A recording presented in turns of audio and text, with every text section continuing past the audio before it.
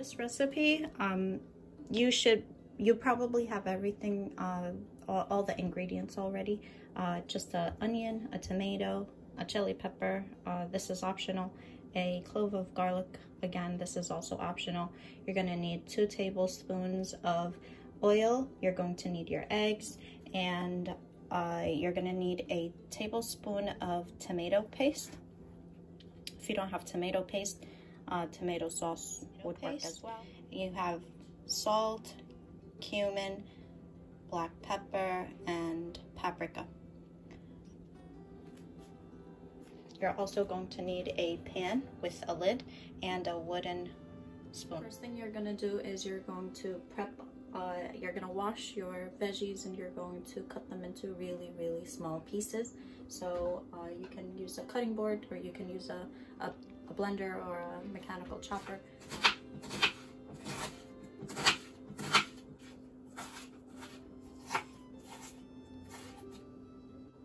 And free up our cutting board for the tomato and garlic and chili.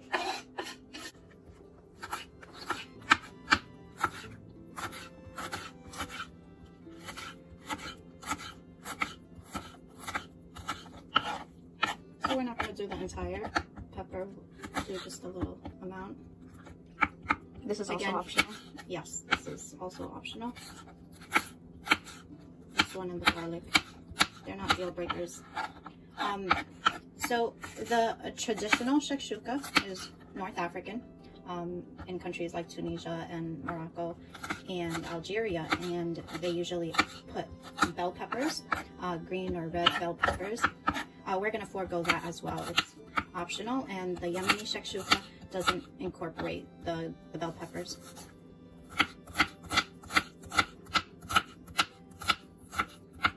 I know we're supposed to smash uh, smash the garlic to bring out the flavor, but I kind of forgot to do that, so I'll do it last. uh, like Miss Balsamo's, uh, like Mr. Balsamo showed us in the video before this. So everything is uh, ready. We're going to turn on the heat under the onions and oil. We're gonna put a uh, medium to high heat, and we're gonna let these onions um, turn golden. Okay, so as you can see, they've lightened up a bit. Uh, you see those golden edges. Give it another stir. And you want to constantly stir because some places on the pan get more heat than others. So you really want to even it out for all of the onions. Okay, they look about ready. Some people prefer to cook them even more, but this is sufficient. Now we're just going to add the tomatoes, the pepper, uh, the chili pepper, and the uh, garlic.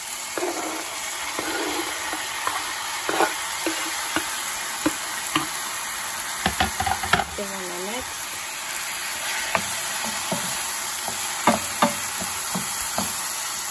I'm going to add about a fourth of a cup of water uh, so that we can cook the tomatoes and add the tomato paste.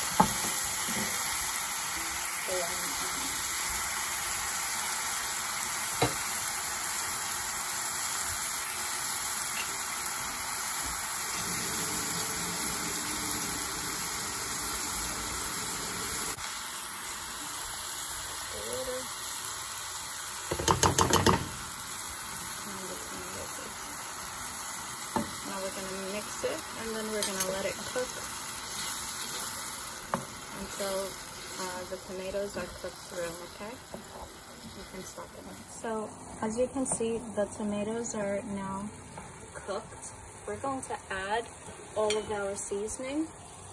We're gonna add our cumin, our salt, and our uh, paprika, and our black pepper. I'm easy on the salt because I'm trying to take care of our blood pressure. Now you just mix it all the way through.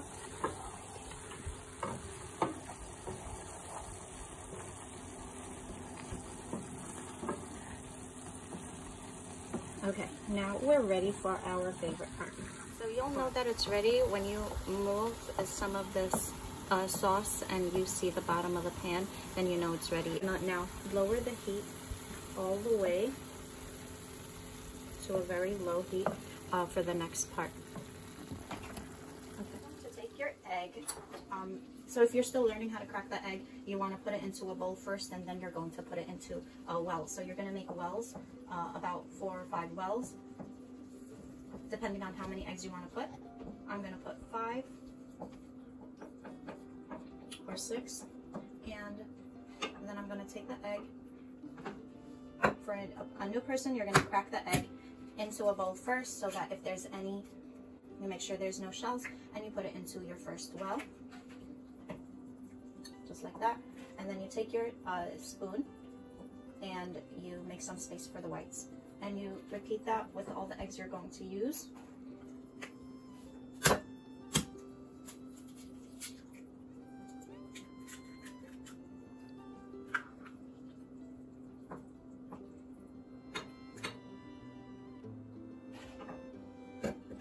Again, it's really low heat, so you're not going to see them cook too fast, and you won't have to worry about burning uh, the, the dish. And put another one in another bowl. Again, you make some, uh, some space.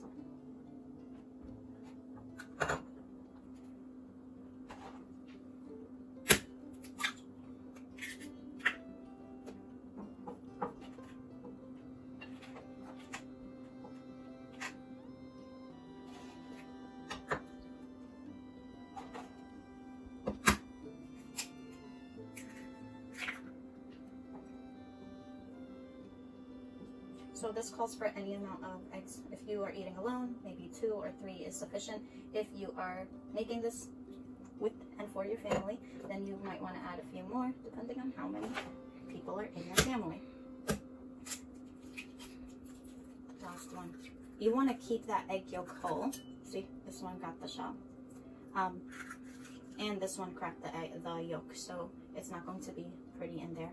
So we're gonna leave that for another time and I'm gonna make the last one. Again, make your hole, make your well in the center. This is the final one. And you put your egg. Okay, so now all of your eggs are inside. You're gonna return the heat to medium high. And you're going to cover it. Here's the high heat and you cover it up let it cook for about six to seven minutes. Uh, if you want a runny egg, you just wait until the whites cook through and it's ready. If you want the, the yolk to be completely cooked, then you're going to cook it for an additional minute or so until the, the yolk is already is also cooked through. You're going to poke it with a fork to make sure.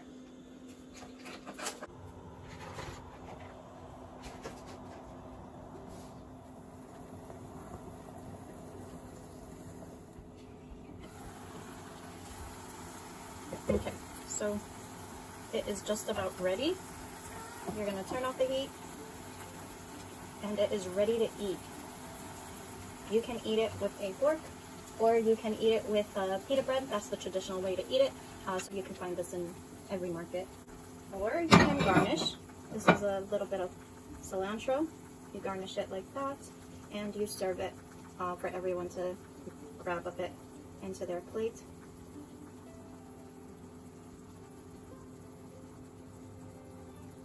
And there you have it. Our shakshuka is ready uh, to serve for breakfast today um, or as a pre-dawn meal um, during the month of Ramadan.